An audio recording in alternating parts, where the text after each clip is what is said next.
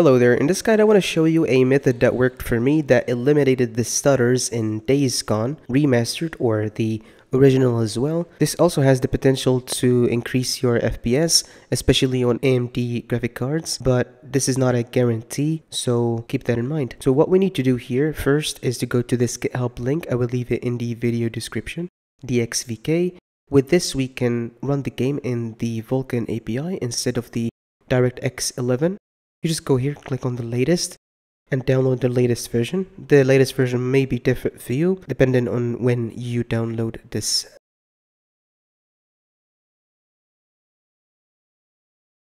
After you're done downloading, you just go ahead and open it, or extract it within Archive Extractor, if you have one, like 7-zip. Then go to x64, and these are going to be the files we need. Then we go where, to where the game is installed. If you have the game on Steam, it should be in the following directory program files 86 in the C drive, then Steam.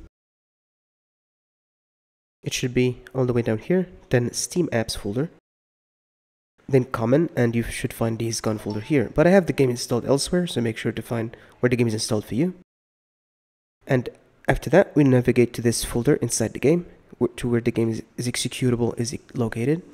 Then we drag and drop all these files, and we just go ahead and run the game. It should run in the Vulkan API.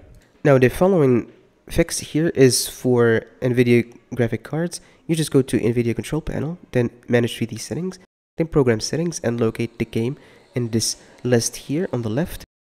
If you can't find it here, you can just click on the add and locate it.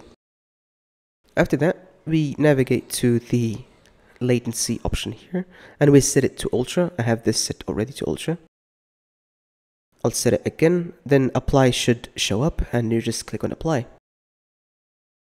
Now, an extra thing that might help, but I did not need to do it for my case, but for you, you might find it useful, is to turn off the VSync in-game, apply, and then go to the NVIDIA control panel or whatever software you use to control or limit the FPS.